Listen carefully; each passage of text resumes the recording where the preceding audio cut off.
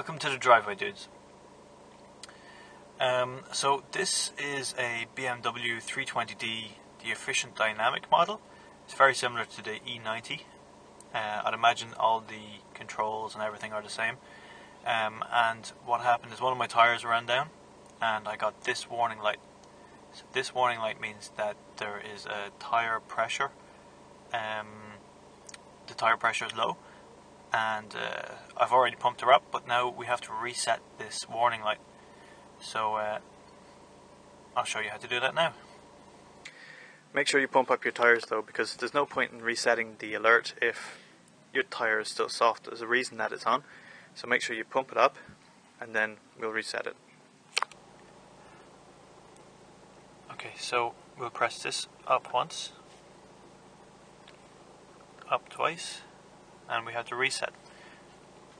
Press the button one, two, three, four, five. Let it go. See the little arrow is gone. I'll press it again. One, two, three, and we have this check button. So that means it's reset now.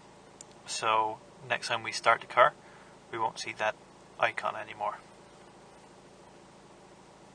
So let's give it a go.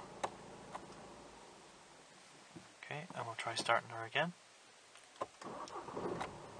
Okay, it's telling me I need a service, which is fine. I need to reset that.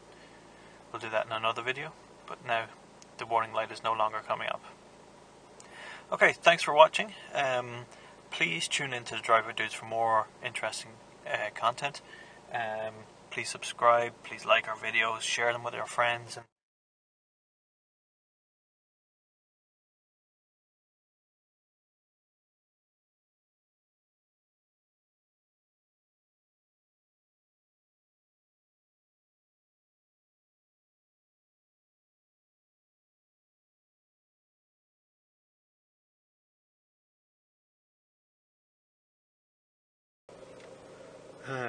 Reverse parking sensors.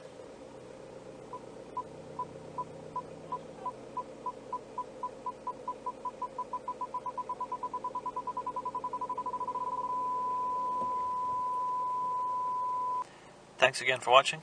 Have a great day.